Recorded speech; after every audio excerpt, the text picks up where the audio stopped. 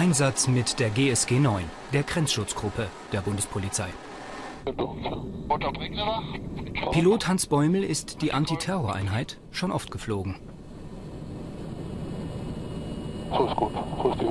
2500 Meter über der Erde. So hoch fliegt Hans Bäumel den Transporthubschrauber selten. Für die Elite-Polizisten aber Pflicht. Hier müssen sie raus. Das ist auf jeden Fall gut okay, doch, Der 52-Jährige gibt das Signal. Klar zum Absprung.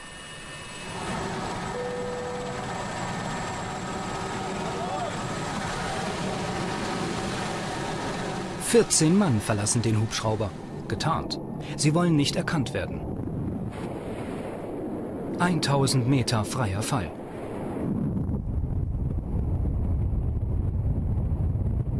Erst dann öffnen sie die Fallschirme. So würden sie zum Einsatzort schweben, auf einem Haus einer Halle landen. Punktgenau.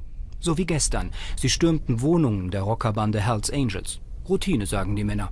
Heute ist es eine Übung. Nach zwölf Minuten sind sie unten, auf einem stillgelegten Flugplatz bei Bremen. Erst wenn alle Fallschirmspringer am Boden sind, landet auch Hans Bäumel mit seiner Puma. Sie wollen nichts riskieren.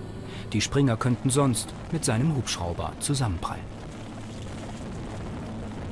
Die GSG 9 zu fliegen ist anspruchsvoll, sagt Hans Bäumel. Rundflüge wollen die Männer nicht. Wesentlich ist natürlich der Wind. Ähm, wir müssen gegen den Wind anfliegen. Es wird vorher schon auch gebrieft mit äh, den Verantwortlichen der GSG 9, wie wird angeflogen, in welcher Höhe wird angeflogen, bei welchen Geschwindigkeiten gehen die Springer raus. Fallschirmspringen aus extremen Höhen, Verfolgungsfahrten, Zugriffe auf Schwerstkriminelle und das Tag und Nacht, das normale Trainingsprogramm der Woche. Und mittendrin Hans Bäumel. Seit 28 Jahren ist er Pilot, für den Polizeihauptkommissar ein Traum das passt einfach alles. Ähm, es macht Spaß, die Aufgabe macht Spaß, die Technik ist dabei.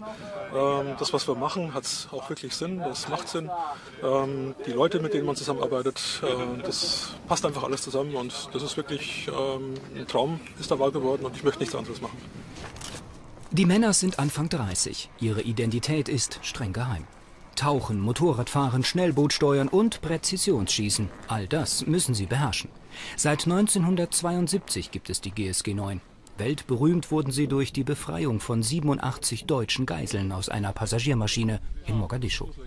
Heute sind mehr als 100 Mann im Einsatz, weltweit. Hans Bäumel gehört zu den wenigen Piloten, der die GSG 9 fliegen darf. Startfrei für die zweite Runde. Diesmal werden sie die jungen Männer in drei Kilometern Höhe absetzen, also noch weiter über den Wolken. Bis Mitternacht wollen sie trainieren.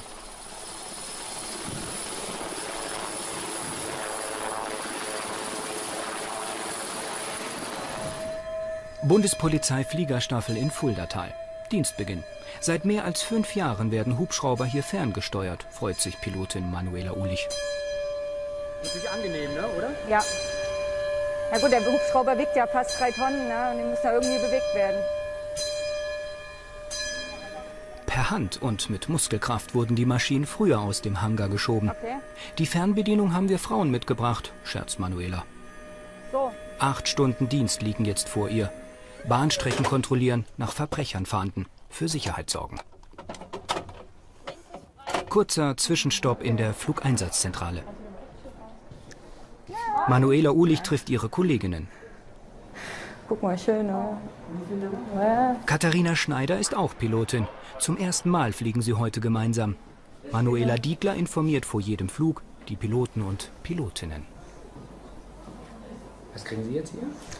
Wir kriegen jetzt unsere Einsatzunterlagen und die ganze Flugvorbereitung für den heutigen Tag. Wir haben da was ausgearbeitet und zwar anlässlich der Blockupy ähm, und des Fußballs. 104 Männer und sechs Frauen arbeiten in der Staffel. Wenn sie ausgehen, wirkt die Männerwelt irritiert, erzählt Manuela Diegler. Wir machen das schon ab und an mal, dass wir sagen, okay, wir gehen mal abends in die Kneipe und trinken mal was zusammen und treffen uns mal. Und wenn man dann sagt, ja, ähm, die eine ist Pilotin, die andere ist Pilotin, die nächste schraubt am Hubschrauber rum, ähm, dann sagen schon, das, das männliche Gegenüber sagt dann schon, ja, ja, klar, Wenn man dann aber sagt, okay, ich habe heute keine Lust auf diese Diskussion, wir sind halt ganz normale Krankenschwestern oder wir sind Zahnarzthelferinnen oder wir arbeiten irgendwo an der Kasse, dann sagen die männlichen gegenüber schon, ja, ja, ja, klar, das wird nie in Frage gestellt. Deswegen, also da machen wir uns dann schon einen Spaß draus.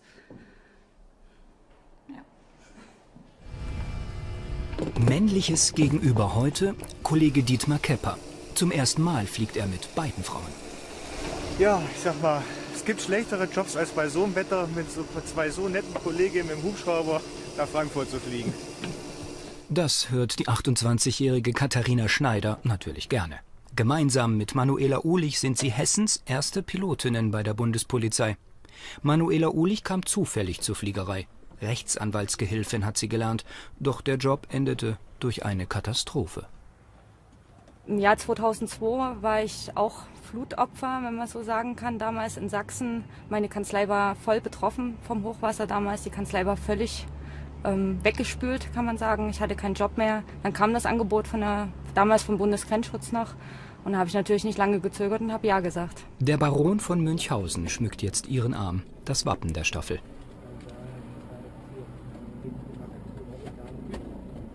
Manuela Diekler arbeitet auch im Tower. Sie erteilt die Starterlaubnis. Pirol 440, der Wind aus 150 Grad mit 5 Knoten des QNH 1019. 1019. Es war Liebe auf dem ersten Flug. So erzählen beide von ihrer ersten Begegnung mit einem Helikopter. Fünf Jahre dauerte ihre Ausbildung. Erst zur Polizistin, dann zur Pilotin. Es ist für Frauen nicht schwerer, die Ausbildung zu schaffen, als für Männer. Man muss fleißig sein und ehrgeizig und dann schafft man das auch.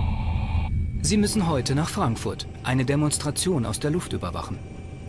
Dietmar Kepper steuert die Überwachungskamera. Ich bin der Systemoperator hier an Bord, das heißt, ich bediene die luftgestützte Wärmebildsichtanlage, so nennt sich die Anlage. Das ist ein Kamerasystem, was im Hubschrauber verbaut ist, was halt die Möglichkeit bietet, aus relativ großer Höhe Aufklärungsergebnisse an den Polizeiführer zu liefern. 40 Minuten später kreisen sie über der Skyline. Aber Demonstranten entdecken sie kaum. Der Veranstalter hatte mit Tausenden gerechnet, gekommen sind knapp 100. War wohl das falsche Thema. Dietmar Kepper beobachtet mit seiner Kamera den Platz an der Hauptwache. Alles friedlich. Äh, die verteilen da einfach Handzettel. Ja. Ich habe jetzt auf Bild, ich weiß nicht, ob ihr es draufgeschaltet habt vorne. Ja, also von Demo ist hier keine größeren Erkenntnisse. Dieser Einsatz ist beendet. Eigentlich sollten sie jetzt Fußballchaoten überwachen, doch die Einsatzzentrale hat einen anderen Auftrag. Kabeldiebe haben zugeschlagen, erfahren sie über Funk. Katharina Schneider gibt Vollgas Richtung Marburg. Nach 20 Minuten sind sie über der Einsatzstelle. Eine Tonne Draht haben die Diebe geklaut. Jetzt läuft die Fahndung. Silberner BMW, nach dem suchen sie, den haben sie im Verdacht. Wissen halt nicht, wo genau. Silberner BMW. Mit der Überwachungskamera sucht Dietmar Kepper nach dem silbernen BMW. Ist das der Wagen? Er steht an den Gleisen. Zwei Männer rennen auffällig hin und her. Manuela Uli fragt nochmal die Einsatzzentrale. Ja, eine Frage von 440, gibt es neue Erkenntnisse noch zur Lage? Weitere Erkenntnisse liegen uns vor. Aufklären gegen silbernen BMW liegt weiterhin vor. Fehlanzeige. Dieses Auto suchen sie nicht. Per Funk erfahren sie, der Fall ist geklärt. Kollegen am Boden haben die Metalldiebe entdeckt und festgenommen. Sie können zurück zur Staffel. Am nächsten Morgen in Fuldatal. Auch Hans Bäumel ist zurück und leitet die Dienstbesprechung. Ja, schönen guten Morgen nochmal allerseits. Das Wochenende war eigentlich recht ruhig. Daher das Programm für diese Woche, bitteschön.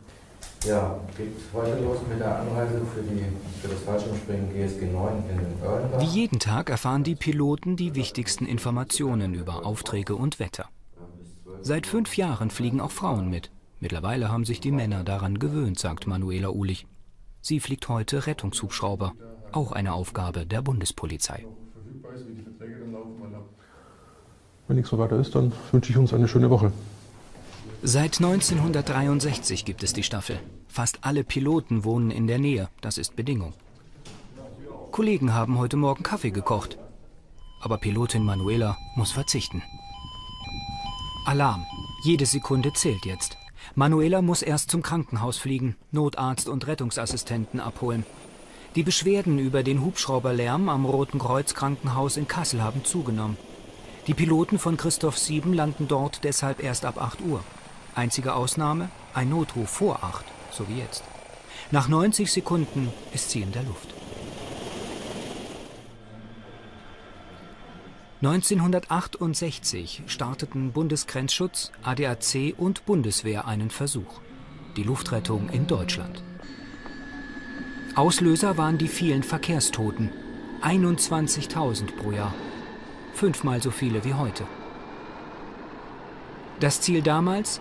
Einen Arzt so schnell wie irgend möglich zum Unfall bringen. Zunächst wurden die Hubschrauber nur zu Verkehrsunfällen alarmiert. Am 1. November 1970 startete Christoph I in München. Deutschlands erster Rettungshubschrauber. Es folgten weitere Stationen mit viel Improvisation. Wie dieser erste Dokumentarfilm über Rettungshubschrauber zeigt. Transport zum Standortkrankenhaus in Lünen. Übernahme des Verletzten mit einem eigens für diese Zwecke gebauten elektrisch betriebenen Ambulanzwagen. Heute fliegen mehr als 80 Rettungshubschrauber in Deutschland zu jedem Notfall, ob Herzinfarkt oder Unfall. Pilotin Manuela Uhlich landet auf dem Dach des Roten Kreuz Krankenhauses. Notarzt Tobias Brückemann und Rettungsassistent Timo Haus-Otter warten schon. 30 Sekunden später ist die Crew unterwegs nach Schmalenberg. Schwerer LKW-Unfall funkt die Leitstelle. So ein LKW stehen und dort in dem LKW Person nicht ansprechbar. In 20 Minuten wollen sie da sein.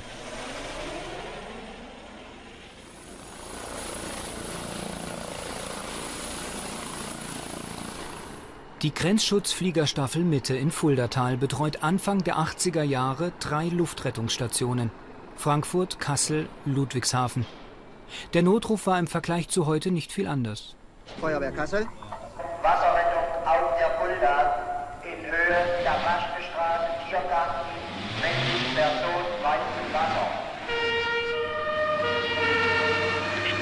Christoph 7 startet zum Einsatzort, bin in vier Minuten am Einsatzort. Welches Fahrzeug steht dort? Die Feuerwehr sucht hier unten in der Fulda nach einer Person. Rettungsboot 1, PKW kommen. Ja, hier ist PKW. Die Lageberichte über Ihre Suchaktion kommen. Ja, unsere Suchaktion ist bis jetzt noch erfolglos. Wir konnten keinen treibenden Körper auf der Wasseroberfläche finden. Wahrnehmung einer Doppelfunktion. Unterstützung der Suche aus der Luft. Bereitstellung von Notarzt, Rettungssanitäter und medizinischem Gerät. Bei Katastrophen und schweren Unglücksfällen werden die Hubschrauber auch zur Beobachtung des Schadenverlaufs sowie zur Lenkung und Koordinierung der Hilfemaßnahmen eingesetzt. Die Großraumbeobachtung aus der Luft ist wesentliche Voraussetzung für die richtige Beurteilung der Lage und das Erkennen des Schadens. Rettungshubschrauber heißen in Deutschland Christoph. Der Name stammt aus dem Griechischen. Christophorus, einer der christlichen Heiligen, ein Nothelfer. 1982 erweitert der ADAC intensiv die Luftrettung. Seine Hubschrauber bleiben gelb, der Bundesgrenzschutz wird orange.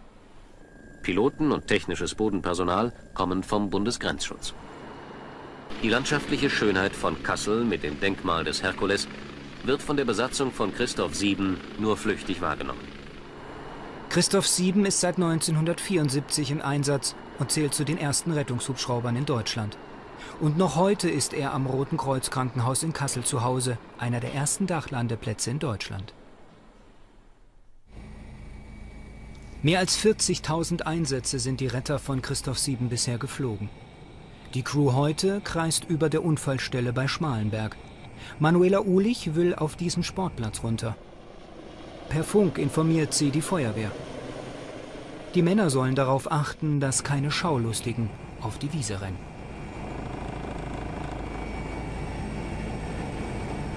Dr. Brückemann und sein Kollege wollen zum Verletzten. Manuela Uhlich bleibt beim Hubschrauber. Die Feuerwehr hat erste Infos.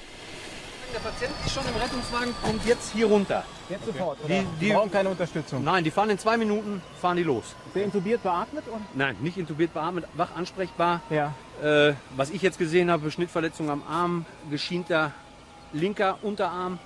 Äh, mehr, wissen wir, mehr weiß ich jetzt auch nicht. Der Verletzte liegt im Rettungswagen. Der LKW war zu schnell. 20 Tonnen Kies liegen jetzt vor dieser Kuh. Kennt sie schon. Passiert hier öfter.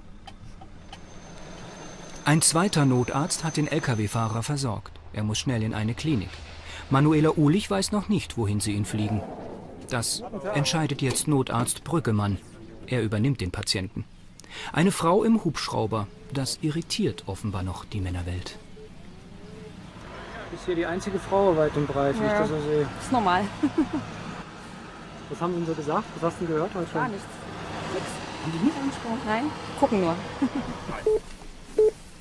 Die 34-Jährige wünscht sich eine Familie. Das geht, sagt sie, auch in diesem Job. Seit einigen Wochen hat sie ihre Zulassung für den Rettungshubschrauber. Knapp 100 Einsätze ist sie schon geflogen. Der Patient hat vermutlich auch noch eine Hirnblutung, sagt der Notarzt. Manuela Uhlich soll ihn schnell nach Marburg fliegen. Timo Hausotter hat die Klinik bereits informiert. Rettungsassistenten unterstützen Piloten beim Navigieren, Funken und beim Starten und Landen zur Sicherheit. Dr. Brückemann wird während des Fluges seinen Patienten beobachten. Hexe, den Spitznamen hat sich Manuela Uhlich selbst gegeben. Ihr Besen hat 1400 PS und den zieht sie souverän in die Luft. Deutschlandweit fliegen erst fünf Frauenrettungshubschrauber. Sie hofft, dass es noch mehr werden. Notarzt Tobias Brüggemann findet Frauenpower im Hubschrauber richtig klasse. äh, lockert das Team auf jeden Fall auf. Äh, Im Moment natürlich eine Besonderheit bei uns, die erste Pilotin hier ähm, beim Christoph 7. Das ist schon was Besonderes, das mitzuerleben. Aber sie passt wunderbar ins Team. Ankunft Klinikum Marburg. Der Verletzte kommt in die Notaufnahme. Beruflich ist Manuela Uhlich noch lange nicht am Ziel angekommen. Ich will natürlich noch viel Erfahrung sammeln, auch jetzt im Rettungsdienst. Ich fange jetzt, wie gesagt, gerade erst an. Ähm, ja, vielleicht kommt irgendwann noch ein Transporthubschrauber dazu. Vielleicht dauert es auch nicht mehr so lange. Ja, dann vielleicht noch ganz interessante Einsätze wie Ausland zum Beispiel. Wäre noch mal ein schönes Ziel, was man vor Augen haben könnte. In der Notaufnahme. Mehrere Ärzte kümmern sich jetzt um den Verletzten. Er wird noch heute operiert und er wird überleben. Manuela Uhlich ist froh, dass der junge Mann vermutlich wieder auf die Beine kommt. Menschen zu helfen tut gut, sagt sie. Vor ganz schlimmen Einsätzen hat sie noch ein bisschen Bammel. Aber im Team unterstützen sie sich gegenseitig, wenn es nötig ist, reden viel über ihre Einsätze.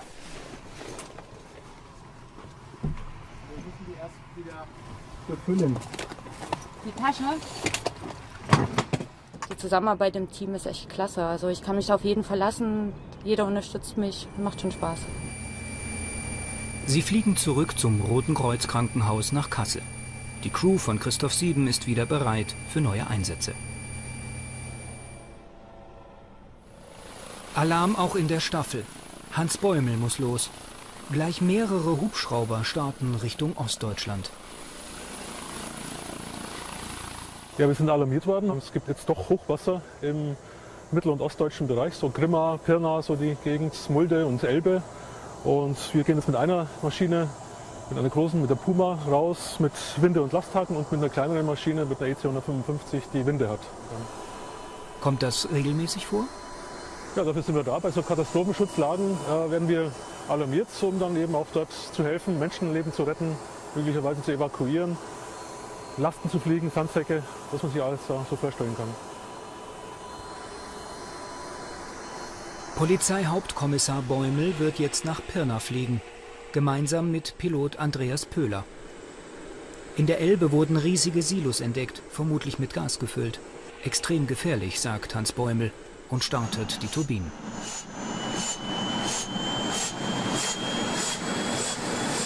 Fast eine Stunde brauchen die Piloten zum Einsatzort. Sie hoffen, dass sie noch rechtzeitig ankommen und Schlimmeres verhindern können.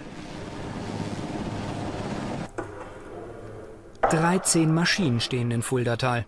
Eine von fünf Staffeln der Bundespolizei in Deutschland. Hubschrauber warten die Polizisten selbst. Nach 100 Flugstunden wird jede Maschine auf Herz und Nieren geprüft. Das ist Vorschrift. Ausgeleierte Heckrotoren, Risse in Rotorblättern, hier wird jeder noch so kleine Fehler entdeckt. An einer EC 135 arbeitet Katharina Hartmann. Die 27-Jährige ist die einzige Hubschraubermechanikerin in der Staffel. Hubschrauber zerlegen und wieder zusammenschrauben, das ist ihre Leidenschaft. Ähm, hier ist äh, der Blattanschluss von den Blättern im, am Hauptrotormast in der oberen und unteren Armblätter. Und es gibt einen Punkt, wo man auf Risse kontrollieren muss. Und äh, auch im eingebauten Zustand. Und da gucke ich jetzt einfach, ob ich schon mechanische Schäden, Korrosion, irgendwas entdecken kann. Wo ich sagen kann, oh, das muss raus oder da müssen wir nochmal näher nachgucken. Sieht gut aus. mein Vater ist auch hier in der Luftfahrt tätig und ja, so ein bisschen kam das natürlich auch dadurch, aber ich wollte auch schon als Kind. Wenn wir in Urlaub geflogen sind, war ich eigentlich lieber am Flughafen als im Urlaub direkt. Und die Luftfahrt war schon immer faszinierend für mich. Und ich wollte das. Und äh, wenn man dann als, ich sag mal, kleines Mädchen gefragt wird oder Jugendliche, was willst du denn mal werden?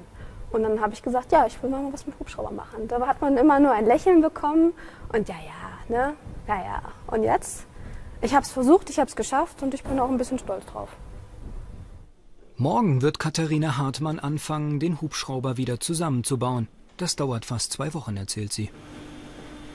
Hubschrauberwartung sah vor 40 Jahren nicht viel anders aus. Die Maschinen und Ersatzteile waren nur nicht so komplex wie heute. Ein präzises Wartungssystem und Reservemaschinen sind Voraussetzungen für die Einsatzbereitschaft. Das geschieht täglich bei den Stationierungskrankenhäusern oder in regelmäßigen Abständen in den Werften des Bundesgrenzschutzes. Der Staffel in Fuldatal. Der 75-jährige Pensionär ist schwer beeindruckt von den neuen Maschinen in der alten Halle. Du findest dich aber hier noch zurecht. Naja, Gott, so viel habt ihr ja nicht geschafft, das Ja. hier zu verändern. Ja, optisch. Optisch, Aber wir ja, haben ja. andere Hubschraubermuster, das ist wohl wahr. Ja, die ich nicht mehr kenne, ne? Ja, genau. Früher kenne. waren sie grün, heute sind sie blau. So eine Maschine könnte er nicht mehr fliegen. Heutzutage ist natürlich die Elektronik. Ne? Das Fliegen als solches ist ja wahrscheinlich das Knüppel, Peach, Füße. Aber die ganze Elektronik da dran ist natürlich. Früher war Handarbeit. So ein kleiner Kompass da oben, Karte auf den Knien und dann sind wir losgedüst. Ne? Bei Wind und Wetter. Heute gibt es Flugtechniker. Früher mussten auch die Piloten mit anpacken. Ach, da ist ja noch ein Schiff. Am 25. Oktober 1963 begann in Fuldatal das Zeitalter der modernen Luftfahrt mit so einem Hubschrauber. Eine Alouette. Vier hatte die Staffel damals. Dietrich Ulfig ist sie gern geflogen. Ja, ja. Schade. Mit modernsten Messinstrumenten. Diesen Faden durften die Piloten nicht verlieren. Also wenn Sie Leistung reinziehen, erhöhen Sie ja das Drehmoment. Dann müssen Sie mit den Füßen auch was machen. Dass die Maschine immer schön. Und wenn Sie das nicht haben, dann zeigt der Faden an. Steht er so oder steht er so? Und dann muss immer so stehen. Und das können Sie mit den Füßen regeln. Wenn er so steht, reintreten, links, dann kommt er rüber. Wenn Sie zu weit. Also ein modernstes Ja, ein, Messinstrument. ein ganz, ein, ein wartungsfreies, na, nicht ganz wartungsfrei. Ne? Ab und zu müssen wir einen Knoten hinten reinmachen, dann franzt, sonst franzt das aus. Aber das Ding ist an sich, Sie sehen es auch bei, bei Segelfliegern, gibt es das auch. Unhandlich. Spritfresser, laut. Viel Lob haben die Piloten nicht für das Hightech-Wunder aus Frankreich. Aber geflogen sind sie die Alouette alle gerne, sagt Pensionär Ulfig. Das ist hier aerodynamisch. Ne? Hier die, Verkleidung, alles strömungsgünstig. Aber das Ding hier drüben sagt, wurde mal gesagt, das ist ein aerodynamisches Verbrechen. Macht natürlich auch, die macht auch einen Höllenkrach hier. Ja. Am Anfang hatten wir noch Sprechgeschirre, also so Kopfhörer. Und dann hat man bei einigen Kameraden nach dem zweiten, dritten Jahr Nachlassen der Hörfähigkeit geringe. Auch bei den älteren Kameraden. Und dann hat man Helme angeschafft.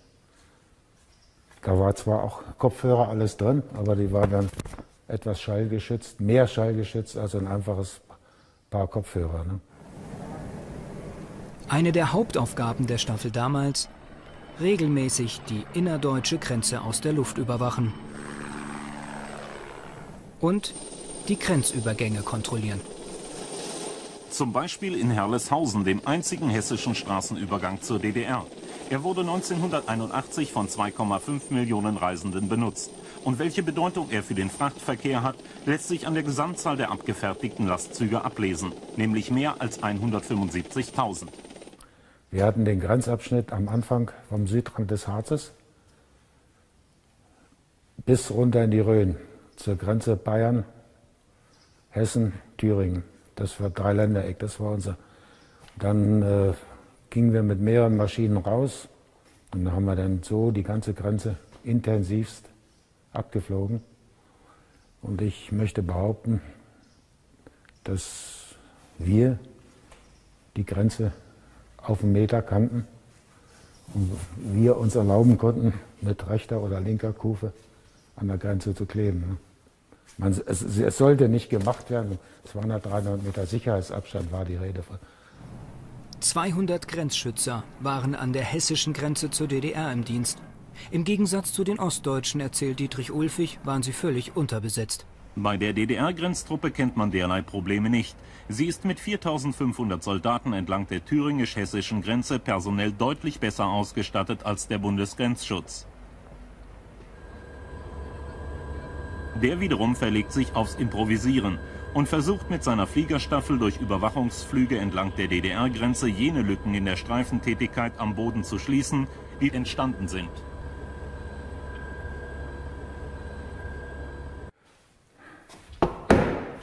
Das wär's denn. Mach gut.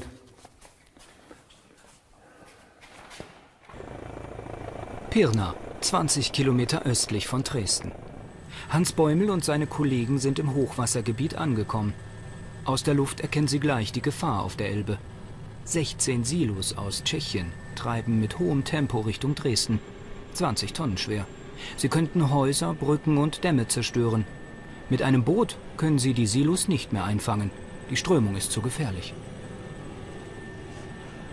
Mit dem Wind der Rotorblätter wollen sie die schweren Silos jetzt wegblasen. Ein Versuch. Hans Bäumel wird jetzt die Höhe ansagen, denn Pilot Andreas Pöhler muss rausschauen und sich auf die Silos konzentrieren. Jetzt noch 15 Fuß. Noch 10 Fuß. So ist gut. So ist die Höhe gut. 10 Fuß bleiben. Jetzt wieder 15 Fuß. So kann man bleiben. Die acht Tonnen schwere Puma schwebt knapp über dem Wasser.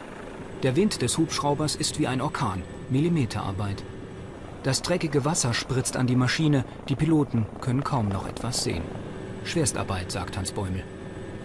Das ist hochkonzentriert, denn äh, das ist auch ungewohntes Gefühl. Man fliegt ja nicht jeden Tag einen Meter über der Wasseroberfläche und dann äh, auch nicht im Hochwasser, äh, wo die Strömung äh, auch reißend ist. Man sieht die Hindernisse äh, oder mögliches Treibgut, mögliche Container, die auch nicht einfach so kommen. Und das ist auch die Aufgabe des zweiten und des dritten Mannes hier an der Maschine, nach draußen zu gucken, um zu sehen, ob mit der Strömung nicht irgendwelches Treibgut noch ankommt, was uns vielleicht sogar noch dann berühren könnte.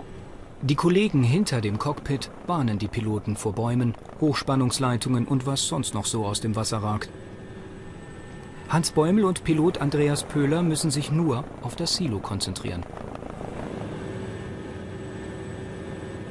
Bei allen Einsatzfällen äh, diesen Container hier wegzupusten mit unserem Downwash, mit dem Rotorabwind, ist es doch wichtig, dass die, dass die Rotorblätter nicht in, in Bäume oder in, äh, in, Parkplatzschilder, die wir hier auch direkt unter uns haben, äh, dann reinkommen. Und äh, auch die Höhe, auf die muss beachtet werden, sodass wir nicht mit der Maschine ins Wasser eintauchen.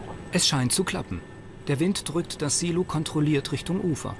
Dort wartet die Feuerwehr mit Seilen zum Festbinden. Das wäre geschafft. Nummer 1 von 16 Silos. Fast 1000 Liter Kerosin schluckt die Puma bei so einem Manöver. Sie fliegen nach Pirna zum Tanken. Andreas Pöhler muss gleich wieder los. Nur mal eben kurz durchatmen. Ich habe gut geschwitzt. Insofern äh, habe ich da gut gearbeitet, ja. Die ersten Maschinen starten wieder. Hans Bäumel und seine Crew sind indessen bei einer Besprechung. Die Lage hat sich zugespitzt. Ein Schiffsanleger hat sich losgerissen, 40 Tonnen schwer. Ein Baum hat ihn zufällig gestoppt, ein Gassilo ist auch noch hängen geblieben. Wie lang kann der Baum den tonnenschweren Druck aushalten? Mit ihren Hubschrauber kommen sie nicht nah genug ran. Zu viele Bäume, zu gefährlich. Die Bundespolizei alarmiert die Grenzschutzgruppe, die GSG 9. Sie wollen die Männer auf dem Anleger abseilen.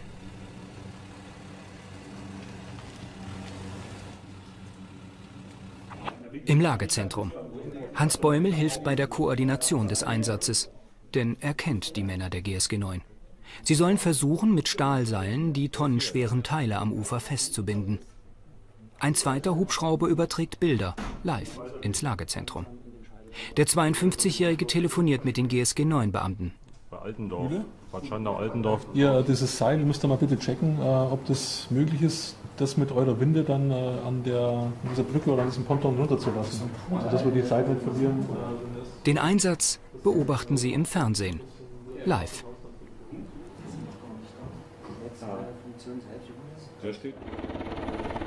Die GSG 9 ist vor Ort.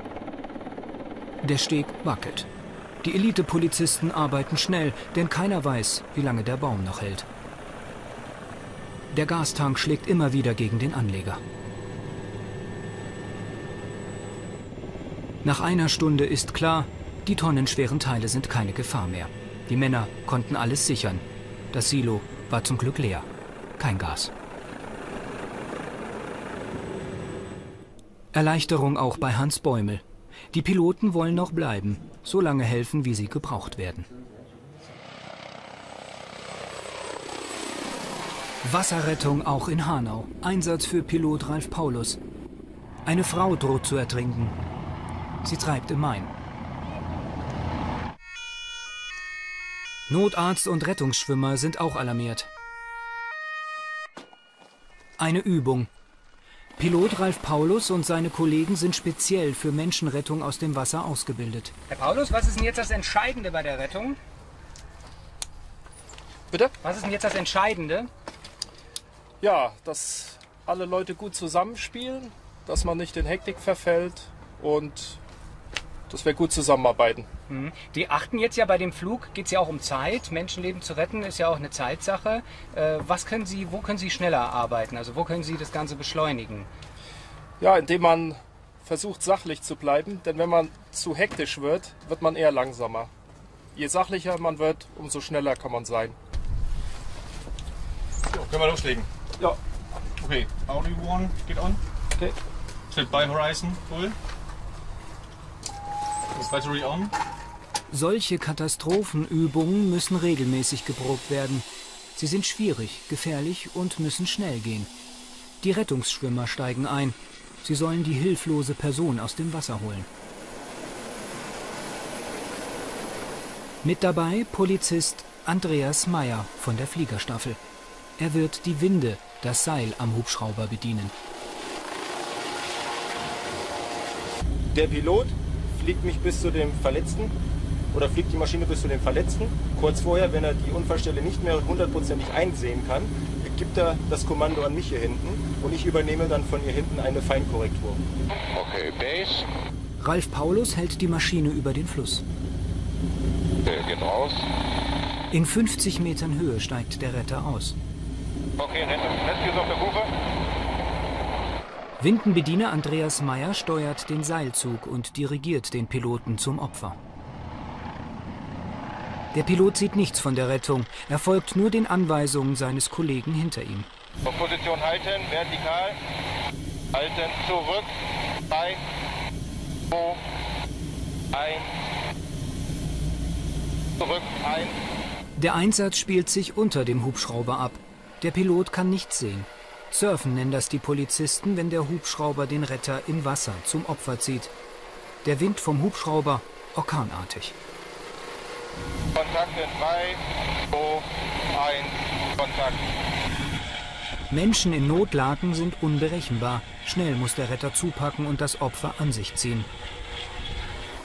Pilot Ralf Paulus versucht die Maschine ruhig zu halten. Bei schlechtem Wetter eine Herausforderung, sagt er. Ein Außenspiegel am Hubschrauber hilft dem Piloten bei diesem anspruchsvollen Manöver. 20 Meter über dem Wasser. Jetzt beginnt der gefährlichste Teil der Rettung. Halten, zieh an. Windenbediener Andreas Meyer versucht seinen Kollegen und das Opfer in den Hubschrauber zu ziehen. Mit beiden Beinen umschlingt der Retter das Flutopfer, damit sie nicht aus dem Gurt rutscht und wieder ins Wasser fällt. Heikel ist immer der Einstieg in den Helikopter. Menschen in solchen Notlagen sind oft mit ihren Kräften am Ende. Kontakt. Fahrwerk. 90 Sekunden dauert die Rettungsaktion. Der Hubschrauber fliegt zurück ans Ufer. Ja, die sind langsam zum Ufer, die sind drin, aber noch nicht gesichert. Für die Retter lief der Einsatz perfekt. Schülerin Lara Marie spielte zum ersten Mal ein Opfer. Also eigentlich kriegt man gar nicht wirklich viel davon mit. Man kann auch nicht äh, nach oben richtig gucken und auch nicht wirklich nach unten gucken, weil man so eng an dem Retter ähm, hängt, dass man nicht so viel Freiraum hat. Man kriegt es nicht wirklich mit. Ralf Liebler hat Lara aus dem Wasser gezogen. Retter ist er ehrenamtlich. Ach, das ist eigentlich ein ganz gutes Gefühl. Ich versuche meine Gedanken eigentlich zu konzentrieren aufs Opfer und versuche das Opfer natürlich dann auch dementsprechend äh, mit in den Hubschrauber zu bringen und versuche mich auch darauf zu fokussieren. Natürlich sind Emotionen dabei. Hubschrauberfliegen macht immer Spaß, aber mittlerweile, und da wir es ja schon jahrelang machen, ist das doch wirklich Routine auch geworden. Bis jeder Luftretter heute mal dran war, braucht es noch einige Wiederholungen. Der Mensch ist trotz aller modernen Technik das Entscheidende.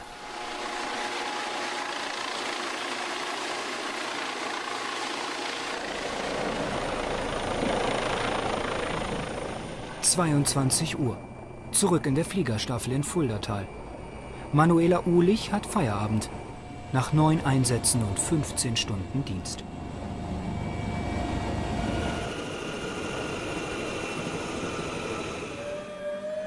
Sie wirkt müde.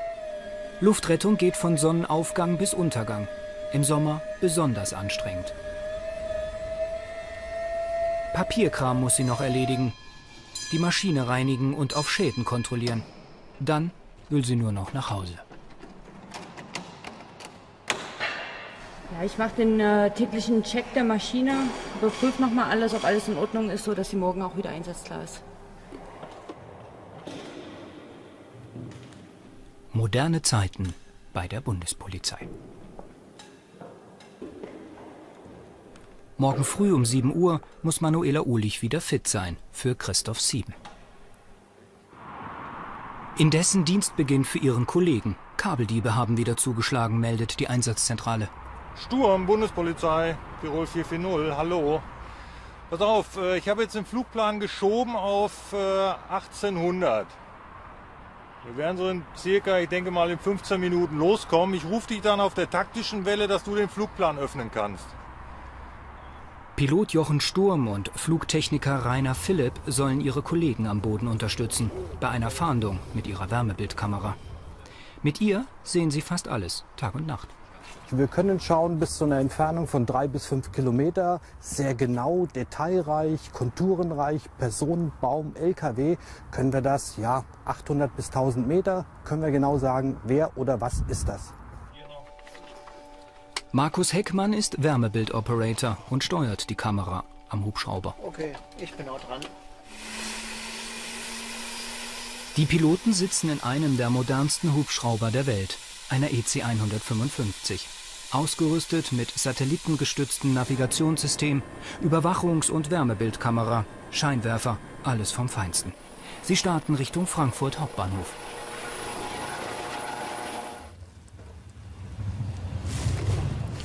Die Kabeldiebe waren schon oft hier, sagen Lothar Vogt und Anke Lecher von der Bundespolizei. Sie sichern Spuren. Zwei Tonnen Kupfer haben die Täter diesmal geklaut. Ja, wir sind hierher gekommen. Ähm, die Diebe waren nicht mehr da. Die waren schon geflüchtet, sind schon geflüchtet und äh, sind hier quasi über die Gleise geflüchtet. In die Gleise des Hauptbahnhofes hinein, was sehr verwirrend ist. Und daraufhin haben wir dann den Hubschrauber angefordert. Weit können die Diebe nicht sein, sagt Lothar Vogt und hat Beweise. Man sieht ja genau, das Kabel wurde frisch abgezwackt, das Kupfer ist noch hell, nicht oxidiert. Die Beamten im Hubschrauber sind kurz vor Frankfurt. Die Piloten tragen Nachtsichtgeräte. Durch die Brille, die einem Fernglas gleicht, suchen sie jetzt nach den Dieben. Ohne diese Brillen sind derartige Nachtflüge unmöglich. Beispiel: Mit dem bloßen Auge erkennen die Piloten nur die Beleuchtung des Zuges unter ihnen, sonst nichts. Mit der Nachtsichtbrille sieht der Zug so aus. Noch mehr aber sieht der Wärmebildoperator Markus Heckmann mit seiner Außenkamera. Er kann ganz nah an den Zug heranzoomen. Hauptbahnhof Frankfurt. Kontrolle von Bahngleisen eine der Hauptaufgaben der Fliegerstaffel. Im Visier alle Bahnstrecken in Hessen und Thüringen, insgesamt 2800 Kilometer. Sie achten auf Gegenstände und Menschen auf den Gleisen. Jetzt suchen sie Kabeldiebe. Zu sehen hier ganz gut, hier sind Fahrzeuge abgestellt. Im direkten Vergleich, das Auto im vorderen Bereich ist kürzlich erst abgestellt, strahlt somit noch sehr viel Wärme ab. Das Auto dort neben strahlt überhaupt keine Wärme ab, steht also schon länger dort. Nur eine Katze ist auf der Flucht, kein Kabeldieb.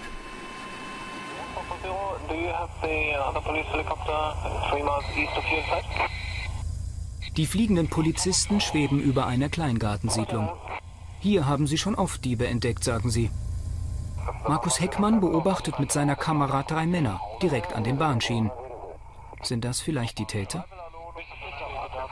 Rainer Philipp informiert die Kollegen am Boden. Anke Lecher und Lothar Vogt fahren sofort zur angegebenen Stelle.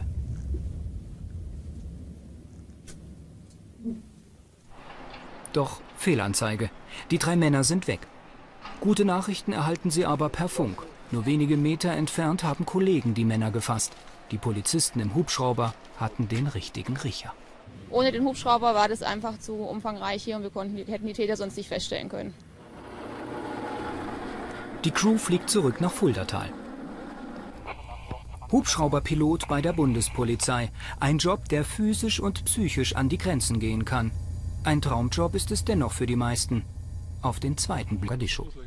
Heute sind mehr als 100 Mann im Einsatz, weltweit. Hans Bäumel gehört zu den wenigen Piloten, der die GSG 9 fliegen darf. Startfrei für die zweite Runde. Diesmal werden sie die jungen Männer in drei Kilometern Höhe absetzen, also noch weiter über den Wolken. Bis Mitternacht wollen sie trainieren.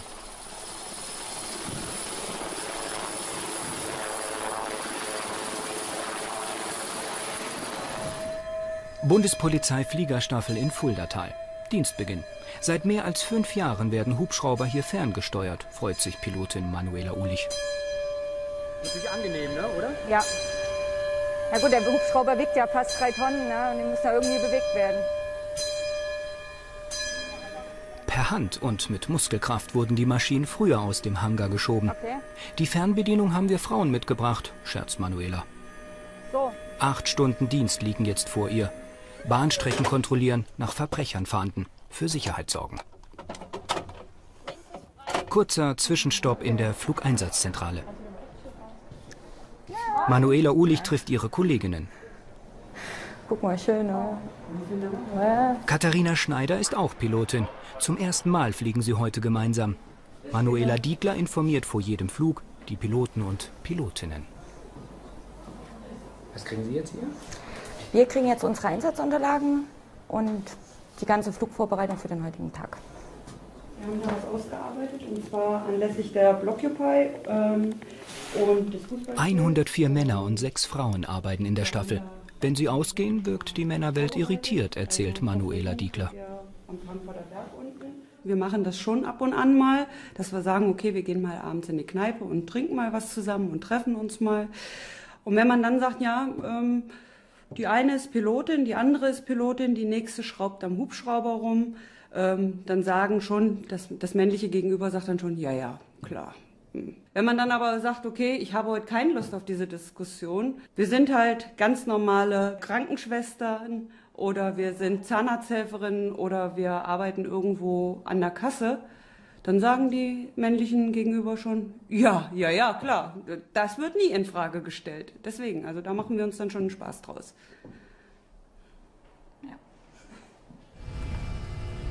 Männliches Gegenüber heute Kollege Dietmar Kepper. Zum ersten Mal fliegt er mit beiden Frauen. Ja, ich sag mal, es gibt schlechtere Jobs als bei so einem Wetter mit so zwei so netten Kolleginnen im Hubschrauber nach Frankfurt zu fliegen. Das hört die 28-jährige Katharina Schneider natürlich gerne. Gemeinsam mit Manuela Uhlich sind sie Hessens erste Pilotinnen bei der Bundespolizei. Manuela Uhlich kam zufällig. Natürlich dann auch dementsprechend äh, mit in den Hubschrauber zu bringen und versuche mich auch darauf zu fokussieren. Natürlich sind Emotionen dabei. Hubschrauberfliegen macht immer Spaß. Aber mittlerweile, und da wir es schon jahrelang machen, ist das doch wirklich Routine auch geworden. Bis jeder Luftretter heute mal dran war, braucht es noch einige Wiederholungen. Der Mensch ist trotz aller modernen Technik das Entscheidende.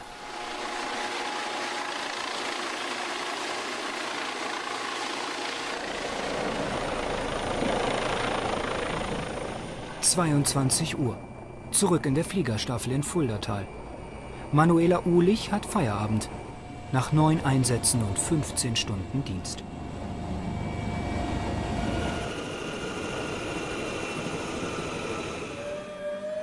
Sie wirkt müde. Luftrettung geht von Sonnenaufgang bis Untergang. Im Sommer besonders anstrengend. Papierkram muss sie noch erledigen, die Maschine reinigen und auf Schäden kontrollieren.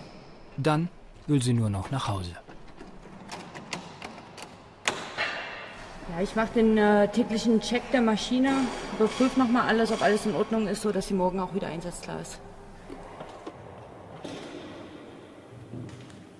Moderne Zeiten bei der Bundespolizei. Morgen früh um 7 Uhr muss Manuela Uhlich wieder fit sein für Christoph 7. Indessen Dienstbeginn für ihren Kollegen. Kabeldiebe haben wieder zugeschlagen, meldet die Einsatzzentrale. Sturm, Bundespolizei, Tirol 440, hallo. Pass auf, äh, ich habe jetzt den Flugplan geschoben auf 1800. Äh, Wir werden so in circa, ich denke mal in 15 Minuten loskommen. Ich rufe dich dann auf der taktischen Welle, dass du den Flugplan öffnen kannst. Pilot Jochen Sturm und Flugtechniker Rainer Philipp sollen ihre Kollegen am Boden unterstützen, bei einer Fahndung mit ihrer Wärmebildkamera. Mit ihr sehen sie fast alles, Tag und Nacht. Wir können schauen bis zu einer Entfernung von drei bis fünf Kilometer, sehr genau, detailreich, konturenreich, Personen, Baum, LKW, können wir das, ja, 800 bis 1000 Meter, können wir genau sagen, wer oder was ist das. Markus Heckmann ist Wärmebildoperator und steuert die Kamera am Hubschrauber. Okay, ich bin auch dran. Die Piloten sitzen in einem der modernsten Hubschrauber der Welt, einer EC 155. Ausgerüstet mit satellitengestütztem Navigationssystem, Überwachungs- und Wärmebildkamera, Scheinwerfer, alles vom Feinsten. Sie starten Richtung Frankfurt Hauptbahnhof.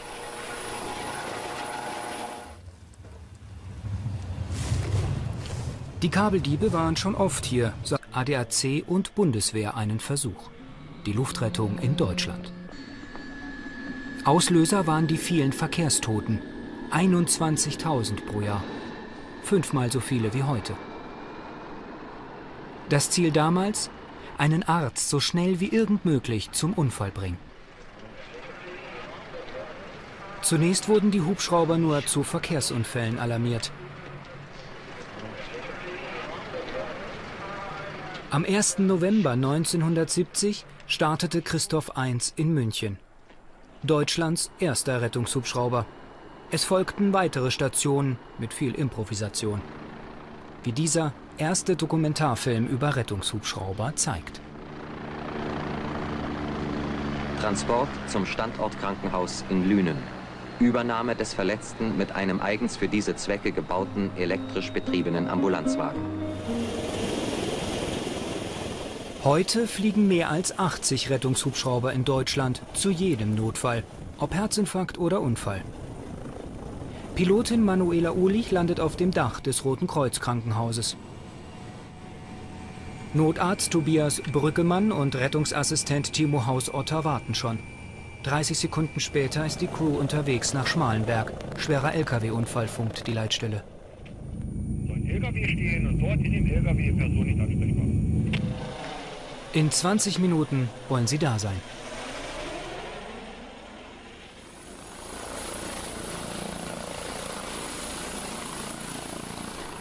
Die Grenzschutzfliegerstaffel Mitte in Fuldatal betreut Anfang der 80er Jahre drei Luftrettungsstationen. Frankfurt, Kassel, Ludwigshafen. Der Notruf war im Vergleich zu heute nicht viel anders. Feuerwehr Kassel. Wasserrettung auf der Fulda in Höhe der Wasch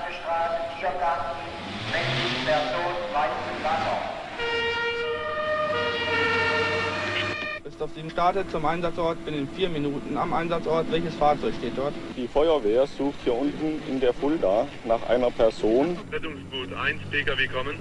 Ja, hier ist PKW. Die Lageberichte über Ihre Suchaktion kommen. Ja, unsere Suchaktion ist bis jetzt noch erfolglos. Wir konnten keinen treibenden Körper auf der Wasseroberfläche finden. Wahrnehmung einer Doppelfunktion. Unterstützung der Suche aus der Luft. Bereitstellung von Notarzt, Rettungssanitäter und medizinischem Gerät. Bei Katastrophen und schweren Unglücksfällen werden die Hubschrauber auch zur Beobachtung des Schadenverlaufs sowie zur Lenkung und Koordinierung der Hilfemaßnahmen eingesetzt. Die Großraumbeobachtung aus der Luft ist wesentliche Voraussetzung für die richtige Beurteilung der Lage und das Erkennen des Schadens. Eigentlich kriegt man gar nicht wirklich viel davon mit. Man kann auch nicht äh, nach oben richtig gucken und auch nicht wirklich nach unten gucken, weil man so eng an dem Retter ähm, hängt, dass man nicht so viel Freiraum hat. Man kriegt es nicht wirklich mit.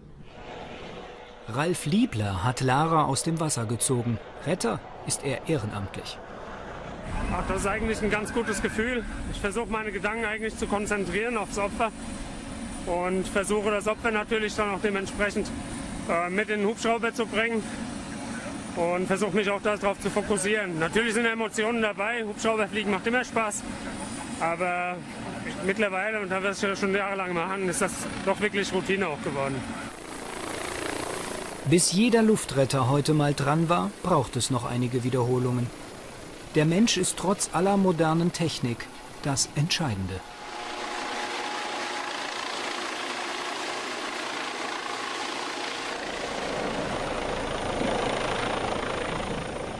»22 Uhr. Zurück in der Fliegerstaffel in Fuldatal. Manuela Uhlich hat Feierabend. Nach neun Einsätzen und 15 Stunden Dienst.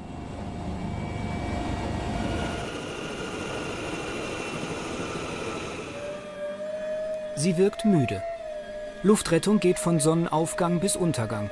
Im Sommer besonders anstrengend. Papierkram muss sie noch erledigen, die Maschine reinigen und auf Schäden kontrollieren. Dann will sie nur noch nach Hause. Ja, ich mache den äh, täglichen Check der Maschine, überprüfe nochmal alles, ob alles in Ordnung ist, so dass sie morgen auch wieder einsatzklar ist. Moderne Zeiten bei der Bundespolizei. Morgen früh um 7 Uhr muss Manuela Uhlich wieder fit sein für Christoph 7. Indessen Dienstbeginn für ihren Kollegen. Kabeldiebe haben wieder zugeschlagen, meldet die Einsatzzentrale. Sturm, Bundespolizei, Tirol 440, hallo. Pass auf, äh, ich habe jetzt den Flugplan geschoben auf 1800. Wir werden so in circa, ich denke mal in 15 Minuten loskommen. Ich rufe dich dann auf der taktischen Welle, dass du den Flugplan öffnen kannst. Pilot Jochen Sturm und Flugtechniker Rainer Philipp sollen ihre Kollegen am Boden unterstützen, bei einer Fahndung mit ihrer Wärmebildkamera. Mit ihr sehen sie fast alles, Tag und Nacht.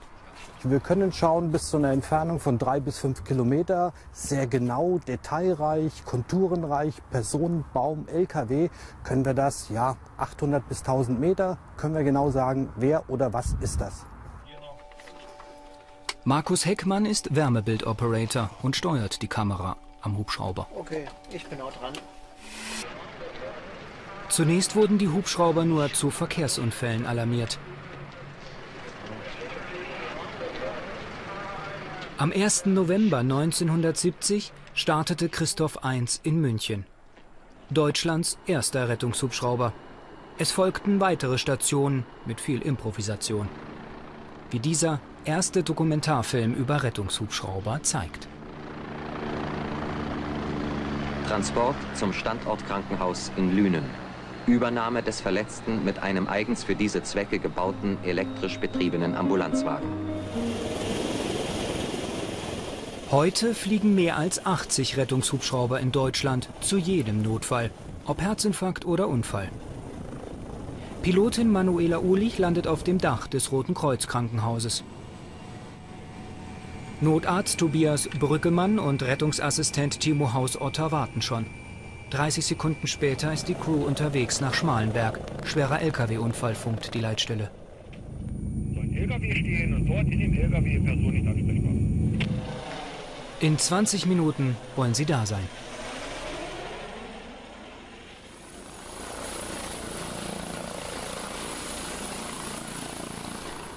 Die Grenzschutzfliegerstaffel Mitte in Fuldatal betreut Anfang der 80er Jahre drei Luftrettungsstationen.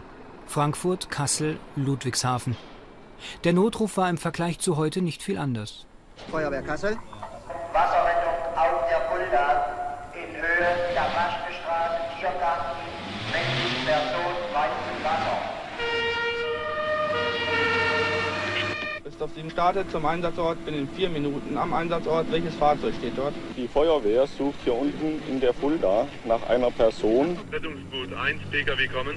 Ja, hier ist PKW. Die Lagebericht über Ihre Suchaktion kommen. Ja, unsere Suchaktion ist bis jetzt noch erfolglos. Wir konnten keinen treibenden Körper auf der Wasseroberfläche finden. Wahrnehmung einer Doppelfunktion.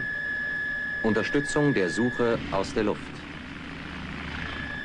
Bereitstellung von Notarzt, Rettungssanitäter und medizinischem Gerät. Bei Katastrophen und schweren Unglücksfällen werden die Hubschrauber auch zur Beobachtung des Schadenverlaufs sowie zur Lenkung und Koordinierung der Hilfemaßnahmen eingesetzt. Die Großraumbeobachtung aus der Luft ist wesentliche Voraussetzung für die richtige Beurteilung der Lage und das Erkennen des Schadens. Rettungshubschrauber heißen in Deutschland Christoph. Der Name stammt aus dem Griechischen. Christophorus, einer der christlichen Heiligen, ein Nothelfer. 1982 erweitert der ADAC intensiv die Luftrettung. Seine Hubschrauber bleiben gelb, der Bundesgrenzschutz wird orange. Piloten und technisches Bodenpersonal. Morgen früh um 7 Uhr muss Manuela Uhlich wieder fit sein für Christoph 7. Indessen Dienstbeginn für ihren Kollegen. Kabeldiebe haben wieder zugeschlagen, meldet die Einsatzzentrale. Sturm, Bundespolizei, Tirol 440, hallo. Pass auf, äh, ich habe jetzt den Flugplan geschoben auf äh, 1800. Wir werden so in circa, ich denke mal in 15 Minuten loskommen. Ich rufe dich dann auf der taktischen Welle, dass du den Flugplan öffnen kannst. Pilot Jochen Sturm und Flugtechniker Rainer Philipp sollen ihre Kollegen am Boden unterstützen, bei einer Fahndung mit ihrer Wärmebildkamera. Mit ihr sehen sie fast alles, Tag und Nacht. Wir können schauen bis zu einer Entfernung von drei bis fünf Kilometer, sehr genau, detailreich, konturenreich, Personen, Baum, LKW, können wir das, ja, 800 bis 1000 Meter, können wir genau sagen, wer oder was ist das. Markus Heckmann ist Wärmebildoperator und steuert die Kamera am Hubschrauber. Okay, ich bin auch dran. Die Piloten sitzen in einem der modernsten Hubschrauber der Welt, einer EC 155.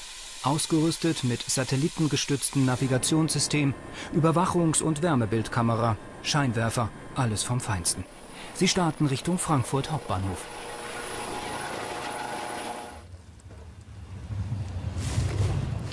Die Kabeldiebe waren schon oft hier, sagen Lothar Vogt und Anke Lecher von der Bundespolizei. Sie sichern Spuren. Zwei Tonnen Kupfer haben die Täter diesmal geklaut.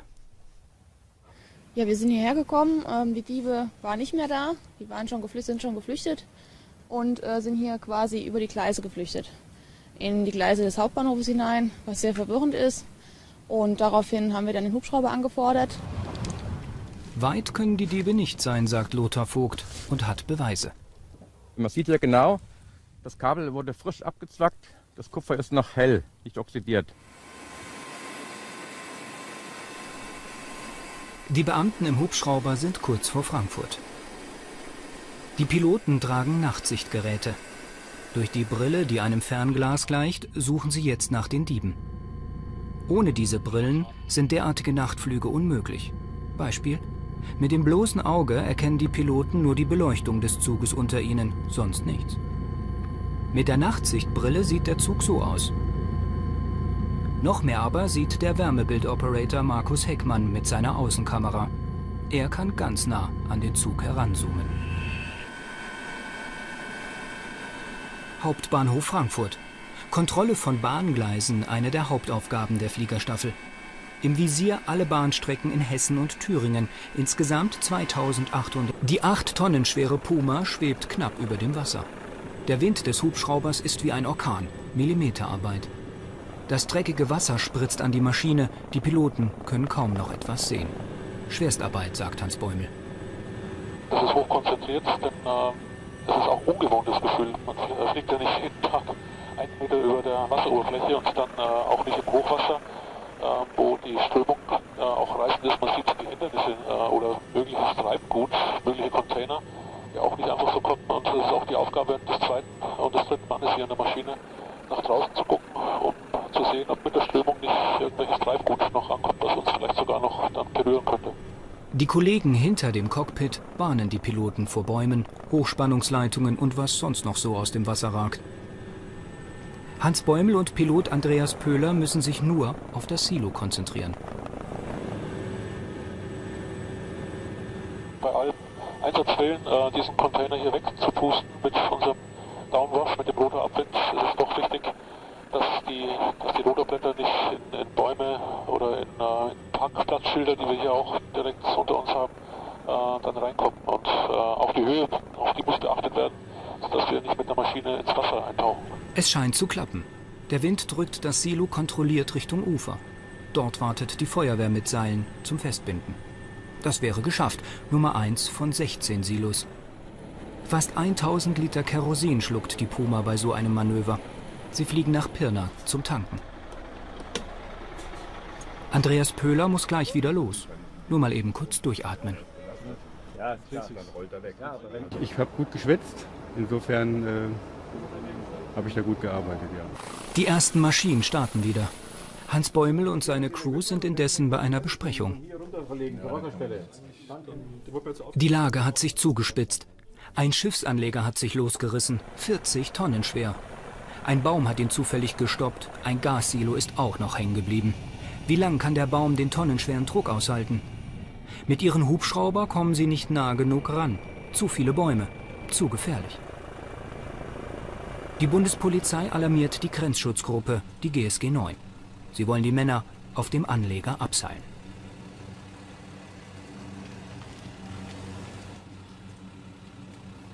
Im Lagezentrum. Hans Bäumel hilft bei der Koordination des Einsatzes, denn er kennt die Männer der GSG 9. Sie sollen versuchen, mit Stahlseilen die tonnenschweren Teile am Ufer festzubinden. Ein zweiter Hubschrauber überträgt Bilder live ins Lagezentrum. Der 52-Jährige telefoniert mit den GSG 9-Beamten.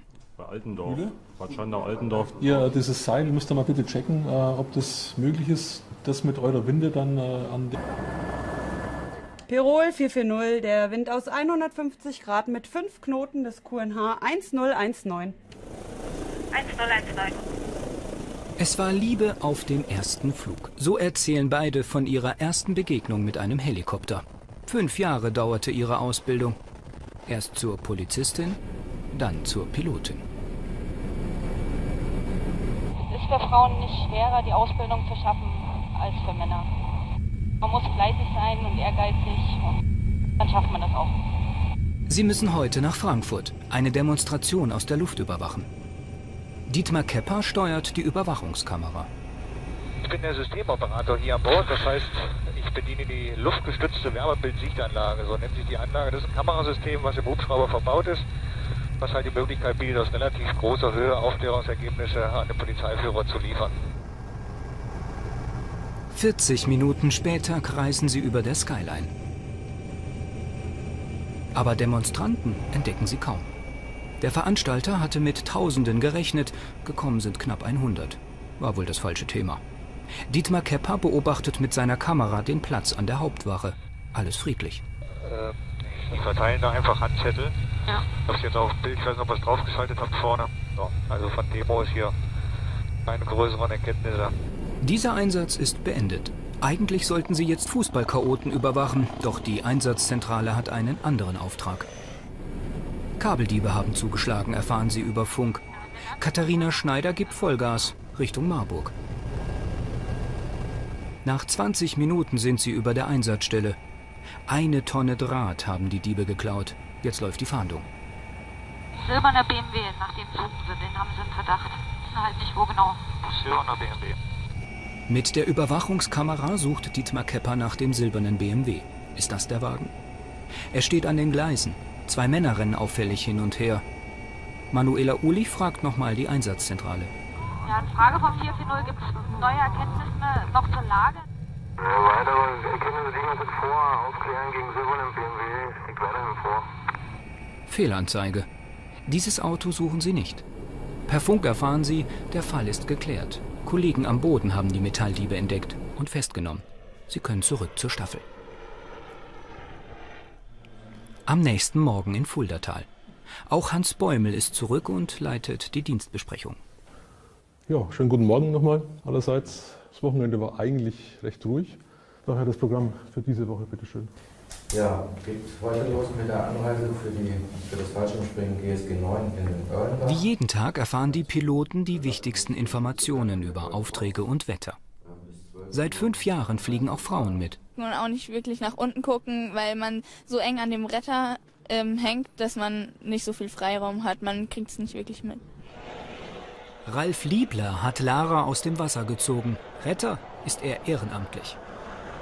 Ach, das ist eigentlich ein ganz gutes Gefühl. Ich versuche meine Gedanken eigentlich zu konzentrieren aufs Opfer und versuche das Opfer natürlich dann auch dementsprechend äh, mit in den Hubschrauber zu bringen und versuche mich auch darauf zu fokussieren. Natürlich sind Emotionen dabei. Hubschrauberfliegen macht immer Spaß, aber mittlerweile, und da wir es schon jahrelang machen, ist das doch wirklich Routine auch geworden.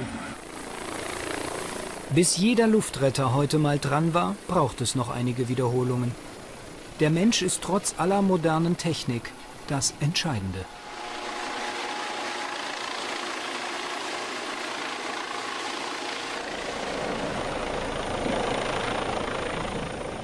»22 Uhr.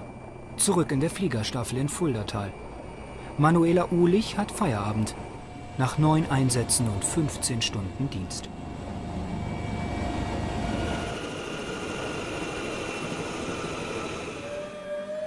Sie wirkt müde. Luftrettung geht von Sonnenaufgang bis Untergang. Im Sommer besonders anstrengend.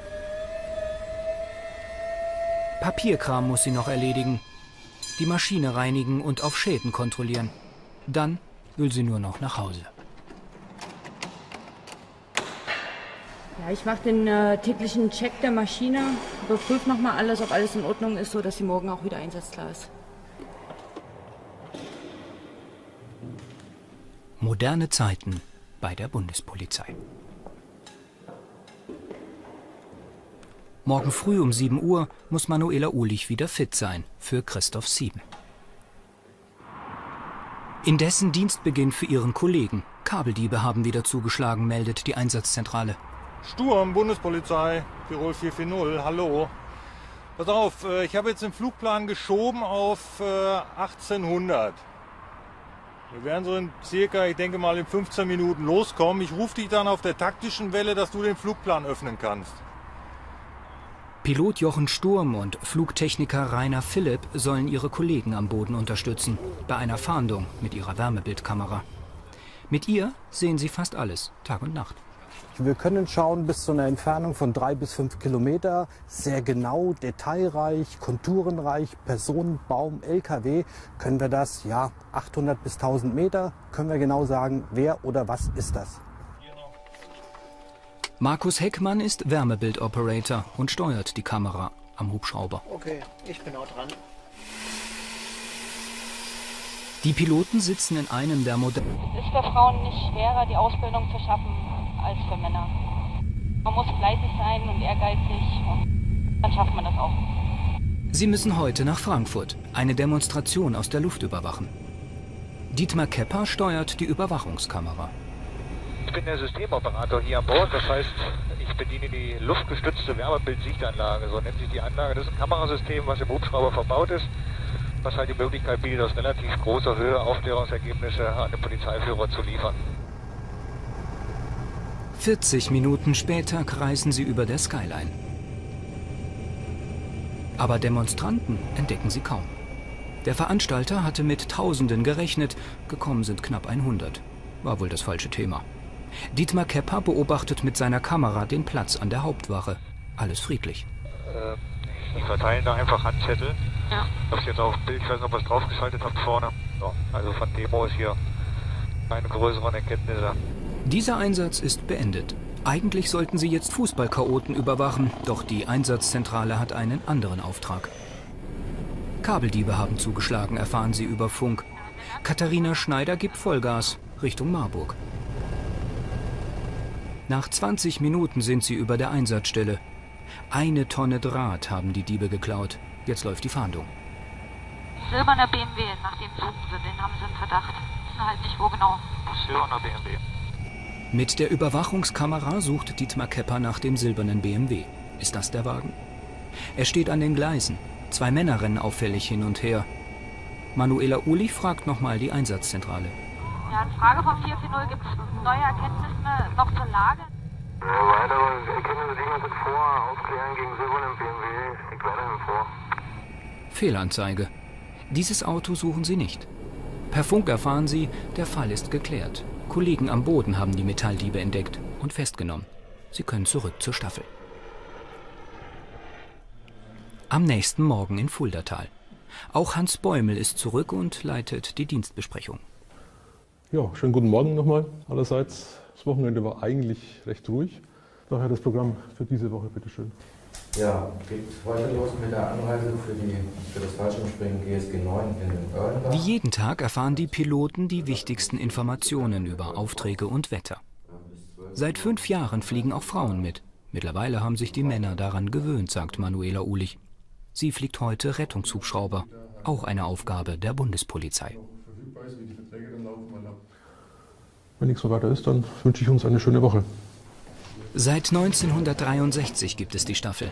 Fast alle Piloten wohnen in der Nähe, das ist Bedingung. Kollegen haben heute Morgen Kaffee gekocht. Aber Pilotin Manuela